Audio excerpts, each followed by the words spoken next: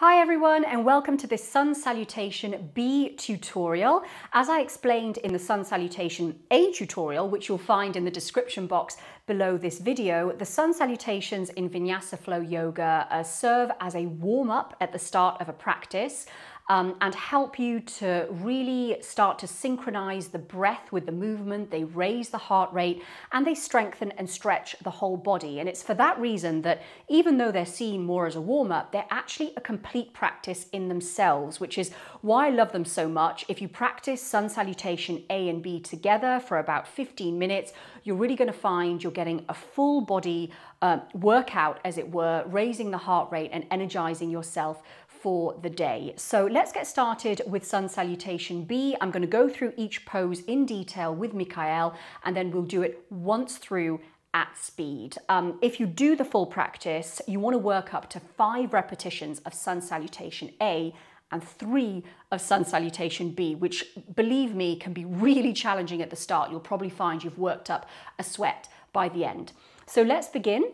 We're standing at the front of the mat, toes to touch, we, um, weight evenly distributed through both feet, energy through the fingertips, hands are down by the sides. You're rolling the shoulders back, you're gazing forward, chin parallel to the floor, tailbone tucked under. So we're in a beautiful uh, Tadasana mountain pose position.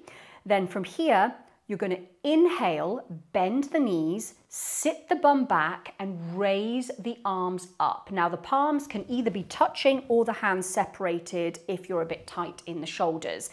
In chair pose, look down at the toes. If you can't see the toes, you need to sit the bum back further. Now to keep your balance, squeeze the thighs together, engage the glutes, especially engage the abdominals, pull the belly to the spine. You want to drop the shoulders away from the ears, draw the shoulder blades together so you're opening through the heart space. All this is in the inhale. Then you exhale, fold forward, belly to thighs, hands to floor, relax the head. Lovely. Inhale, fingertips to shins as you engage the belly again to lift the torso parallel to the floor. Long straight line from tailbone to crown of the head. The back of the neck is in line with the spine. You're drawing the shoulders away from the ears again, drawing the shoulder blades together to open through the heart space, and you look forward without lifting the head. Exhale, hands to floor, step it back to high plank. In high plank, heels reaching towards the back of the mat, legs strong and engaged glutes engaged, belly to spine. You should really feel this in the lower belly if you're properly engaging the glutes and tucking the tailbone under. Push the mat away with the hands so that you round through the upper back. Look at the mat, back of the neck is long. Fantastic. You inhale here, then you exhale, drop the knees, untuck the toes, and bend the elbows, keeping them tight to the ribs to lower the rest of the body down. You can shift the hands forward as Mikhail's done. Then to come into baby cobra, you want to push the tops of the feet and the pubic bone into the floor, engage the glutes, roll the shoulders back, engage the back to lift the chest, open through the heart, again dropping the shoulders away from the ears, back of the neck is long. Then you push the mat away with the hands, tuck the toes under, exhale as you lift up to downward dog. I've got a downward dog tutorial in description box as well, so I'll try not to spend too long here, but you're spreading the fingers wide, pushing the fingers and the knuckles of the hands into the mat. Externally rotate the upper arms, so you're really engaging through the shoulders, bringing the weight out of the wrists. That's also what you do when you press the fingers into the mat. Relax the head, look to the feet, engage the belly, so that you're lifting the hips high and towards the back of the mat, bringing the weight into the heels. Now, the heels may or may not touch the floor. It doesn't matter too much. You just want to feel a little bit of an opening in the backs of the legs, but you can bend the knees as well. And you stay in downward dog for five long breaths. Now, not at this point though, in sun salutation B, because what you're going to do from this downward dog is you're going to come onto the sole of the left foot and that left foot is 45 degrees and it's directly behind, nice Mikhail, the left hand. You bring the right foot forward just to the inside of the right hand. The right knee is bent, the back leg is straight, and then you raise the arms up. This is warrior one. So you can widen the feet. The feet are on train tracks. They're not one directly in front of the other because you want space for the hips. You're aiming to turn both hip bones forward. That is anatomically impossible for a lot of people, so don't worry about it. Just aim for it, but wherever you are is perfect. Engage the glutes, engage the lower belly. You are, of course, turning both shoulders towards the front as well. Palms can be together um, or hands can be separated, whatever feels more comfortable. The foot is really at 45 degrees, not parallel to the back of the mat. Beautiful. So this is your warrior one. The knee is directly above the right ankle. I'm doing this side in more detail. The left side we'll move through more quickly. You come into this on an inhale. Exhale, hands to floor. Step back to high plank. Inhale in high plank. Exhale, we drop the knees, untuck the toes, lower the body down. Inhale, baby cobra, heart draws forward, shoulders back, engage the glutes. Exhale, back to downward dog. And then straight to the left side. So on an inhale, the right sole of the foot 45 degrees on the mat. You're stepping the left foot forward just behind or to the inside of the left hand and you're coming up again to standing, keeping the left leg bent, the right leg is straight. Hips aiming towards the front of the mat, raising the arms overhead, palms to touch, glutes engaged, barely engaged. And make sure that you're tracking the knee towards the little toe of the front leg so that you're not letting the knee drop inwards. Fantastic. And the outer edge of the foot, the heel is in contact with the floor with the back foot. So here you're on an inhale, Exhale, palms to floor, step it back to high plank. I'm now going to show you the chaturanga option, which is a perhaps a more challenging option than taking baby cobra. So from high plank, you inhale, then you exhale, bend the elbows to 90 degrees, no lower. You do not want to be dipping the shoulders too far forward. You could end up hurting your rotator cuffs. Whole body is off the floor.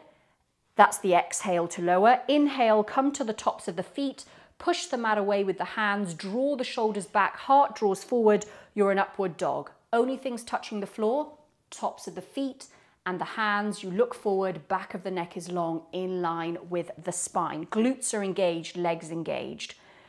Exhale, tuck the toes under, come up to downward dog. Mikhail's doing a fantastic job holding the positions for so long. If I'm talking quickly, it's just that I don't want to make him suffer for too long holding poses like a tricep push-up and upward dog.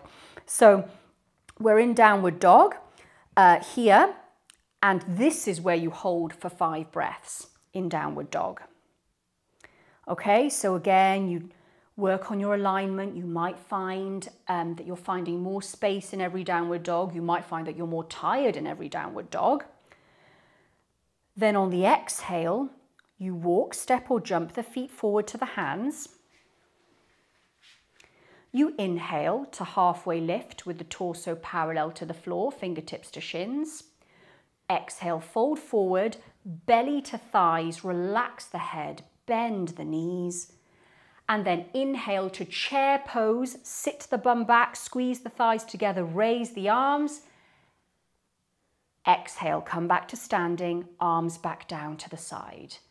Nice job, Mikhail, and nice job to you if you followed along actually holding everything for a long time. We're now going to go through one round of Sun Salutation B at speed. But remember, if you're doing the full practice, you would do this three times. Okay, let's go. Inhale, sit the bum back, bend the knees, raise the arms, chair pose. Exhale, folding forward, relax the head. Inhale, fingertips to shins, torso parallel to floor.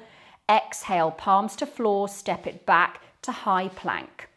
Inhale in high plank. Exhale, drop the knees, untuck the toes, elbows tight to the ribs as you lower the body down. Inhale, heart draws forward, shoulders back, baby cobra. Exhale, tuck the toes under, downward dog.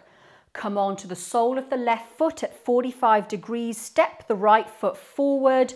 Come up on the inhale, warrior one, hips facing forward, glutes and abs engaged.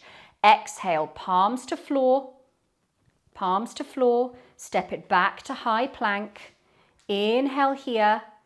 Exhale, lower the knees to the mat, untuck the toes, lower the rest of the body down in one piece.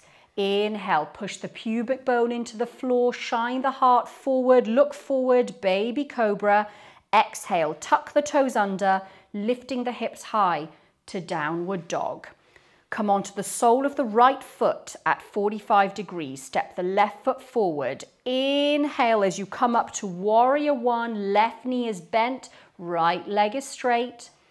Exhale, palms to floor. Step it back to high plank. Inhale in high plank, chaturanga. Exhale, bend the elbows to 90 degrees, body one straight line. Inhale, push the mat away with the hands, straighten the arms. Upward dog, shine the heart forward, shoulders back. Exhale, tuck the toes under. Coming back to downward dog, holding here for five long, slow breaths, spreading the fingers, pushing the mat away with the hands. Externally rotate the upper arms. Relax the head. Lift the hips high by engaging the belly. On the exhale, walk, step or jump the feet forward. Inhale, fingertips to shins. Halfway lift, shoulders away from the ears. Exhale, fold forward, relax the head, bend the knees deeply. Inhale, chair pose, squeeze the thighs together, sit the bum back, raise the arms. Exhale, come back to standing, arms back down to the side. Fantastic job. Closing down the eyes. Just taking a moment here to notice any changes in the body. Perhaps you're feeling the heart rate is elevated. Breathing is a little faster. Bringing the palms together at heart center. Let's inhale together and take an om on the exhale. Thank